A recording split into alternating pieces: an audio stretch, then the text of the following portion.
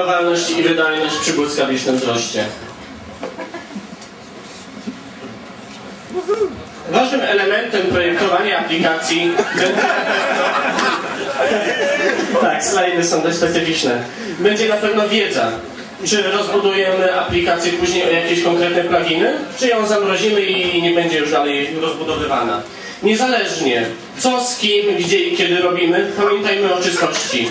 Czystości kodu i żeby dokumentacja była przejrzysta.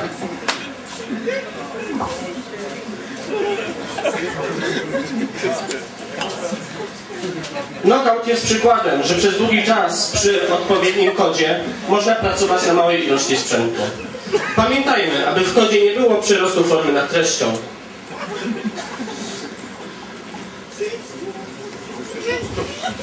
Ktoś może powiedzieć, że to pewnie jakiś blef czy hak. I tak się pewnie nie da. Idziemy jednak dalej. Najprostsze rozwiązania są najlepsze. Skoro tak twierdzą twórcy rejsów, to musi być to prawda.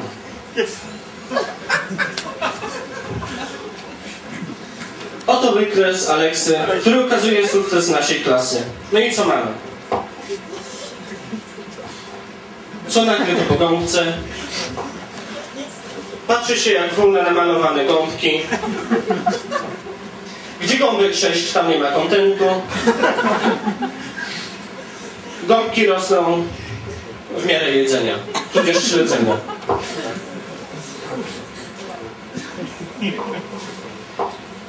A tutaj mamy pierwsze problemy knockoutu przy 3 milionach e, unikalnych użytkowników. No i co?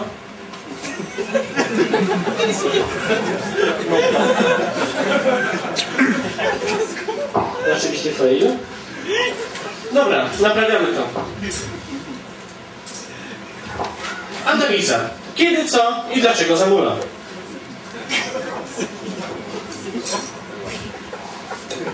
Żeby widzieć, kiedy wypada posłużyć dwoma popularnymi programami, tudzież aplikacją. Zabix, który poinformuje nas o każdych niewydolnościach systemu, jeżeli go dobrze skonfigurujemy i WatchScript, który powiadomi nas na przykład SMS-em, że coś jest nie tak z naszym serwisem. Chyba, że nasz niezadowolony administrator przy braku jakichś środków finansowych postanowił nam wyłączyć internet, tudzież nie ogłosiliśmy łącza. Co? Najczęściej mamy zamulające serwery www, niekiedy systemy operacyjne, bazy danych, no i skrypty, w których piszemy, w tym wypadku na przykład PHP. No i jak? Najlepiej sprawdzić wydajność serwerów www popularnymi programami, fragment kodu, którym może się posłużyć. Proszę szybko przepisywać, bo slajdy lecą szybko. System operacyjny. Co warto zoptymalizować? Często problemem może być na przykład NFS albo jakieś niewydolne dyski. No i przede wszystkim odpowiednia konfiguracja systemu. Posłużyć się też Moniogiem, który potrafi bardzo dokładnie przeanalizować, co nie działa w naszej bazie danych. W tym wypadku jest to analiza MySQL-a. I przeanalizować slow logi, które poinformują nas, które zapytania są dla nas najmniej optymalne i trwają najdłużej. Skrypty PHP. Oczywiście trzeba je pisać jak najlepiej, analizować, e, które trwają najdłużej, posłużyć się odpowiednimi wspomagaczami, które pozwolą nam również e, zdiagnozować, co może być w nich nie tak. No to teraz zatrzymujemy familię pany, pana Gąbki całą i przyspieszamy. Po pierwsze zmieniamy nasz serwer www na bardziej wydajny, bo wiadomo, że dane wciąż muszą płynąć. Na przedzie instalujemy jakieś bardzo dobre proxy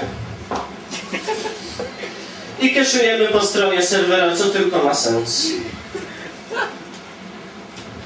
Oraz szukamy nietuzinkowych metod zwiększenia wydajności naszego systemu. Odciążamy bazę danych przez zewnętrzne programy wspomagające przeszukiwanie danych i dopasujemy konfig bazy danych do naszych indywidualnych potrzeb. Czytacie? Mam tylko 20 minut. 50 slajdów. A gdy jeden nasz serwer wypadnie, co? Nic się nie stanie, jeżeli w tym momencie włączymy replikację. Oczywiście im więcej serwerów, które mogą działać wspólnie, tym lepiej dla nas. Różne metody są replikowania danych.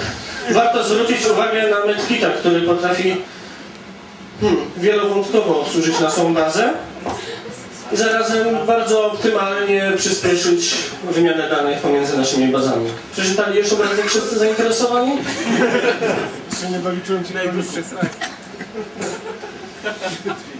Przy dłuższych tabelach warto zastosować partycjonowanie. W MySQL 5.1 jest to wbudowane i można po prostu łatwo skonfigurować. Przy późniejszych, znaczy wcześniejszych wersjach, wcześniejszych niż 5.1, warto pokombinować i da się to zrobić na wiele innych sposobów. Można również pokusić się o sharing, czyli rozdzielenie danych na konkretne serwery w zależności od tego, jakie wcześniej ustaliliśmy kryteria. No i szybko również omówienie, jak rozwijał się knockout. Na początku był oczywiście serwer WD i osobno bazodanowy. Następnie dołożyliśmy osobny serwer, na którym przeprowadzaliśmy dane, które w naszym serwisie się pojawiają. Dołożyliśmy również drugi, drugi bazodanowy serwer, żeby w tym momencie odciążyć nasz główny. No i oczywiście, co najbardziej Was interesuje, potencjalnie użytkowników, dołożyliśmy kolejne serwery www, żeby te strony, które udzielamy Wam na naszych łączach działały jeszcze szybciej żeby szybciej były przetwarzane. Następnie dołożyliśmy kolejne serwery do danych e, trzymanych i serwowanych, czyli kolejne slajdy. Nie, serwery nie mają kontaktu ze światem. Pytanie na koniec. I o czym nie mówiliśmy? Nie mówiliśmy na pewno o optymalizacji po stronie użytkownika, czyli o cachowaniu. E, I nie wspomnieliśmy również o wspomaganiach e, typu Amazon S3, C2, tudzież Google Ads Engine. Komentarze, krytyka i pytania. Mam nadzieję, że teraz zdążę. Bo mi to zaszło 20 minut. No nie, na szczęście udało się przekroczyć czasu, żeby was nie zanudzać, ale teraz słucham. Jakieś konkretne pytania? Możemy wrócić do jakiegoś slajdu. Czy gąbką stała się krzywda? Nie, gąbką nie stała się krzywda, oprócz jednej, o czym zobaczymy jeszcze za chwilę.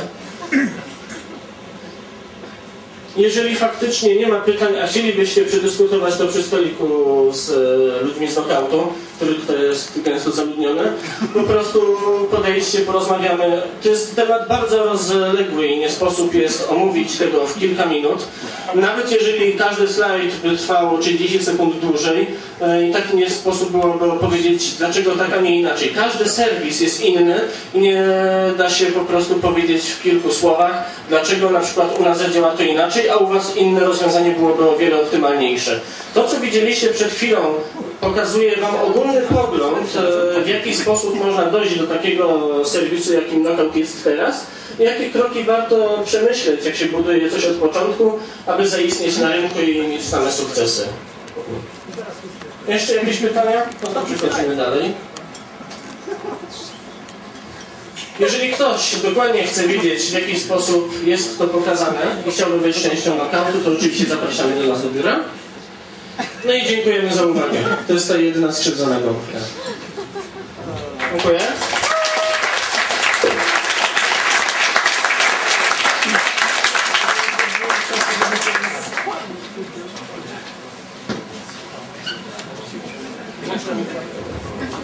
To było najszybsze 20 minut. e, powiedziałem, ale z tego słynie knockout, jest szybki, tak? Dobra. Przełączymy sprzęty i tablica ogłoszeń, kilka rzeczy zachęcających do działania. Mam nadzieję,